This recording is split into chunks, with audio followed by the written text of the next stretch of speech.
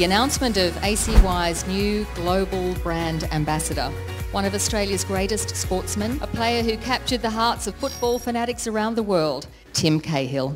高级交易员 Alan，长爱交易团队交易员专为家族办公室提供私募资金管理团队、资产配置规划、AI 自动交易系统开发、资金风控设计、绩效成长规划指导、交易员培训等金融项目。曾入围2019 ACY 亚洲杯总决赛前三十强，擅长波段长线策略，以静制动，稳健持仓心法。Hello，大家好，我是 ACY 新闻证券的 Johnny，欢迎收看本期金融百老汇。美国主要股市跳涨，录得最强劲的周涨幅。因公布的非农数据显示，就业岗位流失略低于市场预期。美国四月非农就业岗位锐减两千零五十万个，创自大萧条以来最大降幅。凸显疫情给经济造成的冲击。尽管周五公布的非农数据惨烈，但不少投资者认为这样的失业数据只是暂时的。等全美经济开工之后，劳动力市场将会快速恢复。其中最新的失业报告显示，在四月份，超过百分之七十八的失业人员将裁员视为暂时的，预计在六个月之内就能够重返工作岗位。同时，近期市场对经济重启的希望，使得资金流入风险资产。加上此前黄金一个月的盘整走势，这可能会使得市场的焦点转向股市，也会部分施压黄金。不过，市场对于美联储负利率的预期，以及各国为缓解经济下行压力而出台的刺激措施，将对金价构成支撑。市场需关注全球经济数据表现，本周重点关注美国四月 CPI 数据和周五的美国四月销售零售数据。最近一段时间，人们对黄金保持了相当多的关注，而金价确实有所起落。我们可能正处于投资者举棋不定的阶段，市场尚未有明确的方向。本周风险资产是否会进一步走强？本期金融百老汇，我们邀请到的是长爱交易团队的交易员 Allen。Hello，主持人好，各位海内外的投资朋友，大家好，我是来自台湾长爱交易团队的 Allen。今天很荣幸受邀担任本期金融百老汇的节目嘉宾，来为大家分析国际盘的金融走势。那在上周五呢？美国劳动部公布最新的就业数据，四月份的非农就业人数呢大减了两千零五十万人，几乎呢是抵消了过去十年经济成长所带来的就业机会。那失业率呢也飙高到了十四点七 percent，打破了二战后的纪录。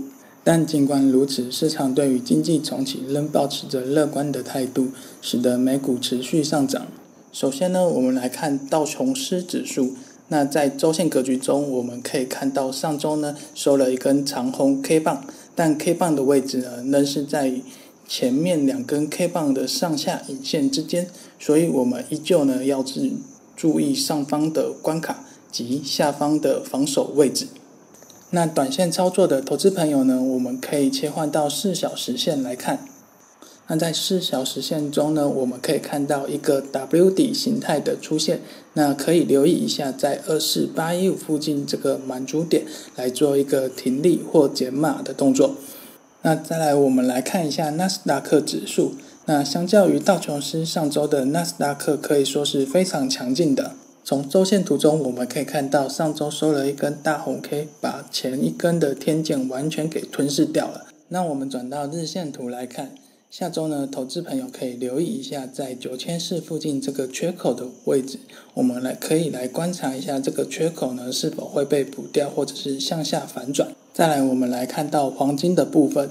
那从黄金的日线图中呢，我们可以看到黄金呢现在一样是在走一个长时间的三角收敛。那我们切到四小时线来看，那目前要突破的位置呢是在一七二三附近。那这个位置呢突破了。我们就可以尝试做一个多单的埋伏。那下方呢，我们需要防守的位置是在一六七零附近。那如果这个位置呢被跌破了，那黄金就有机会往下测试。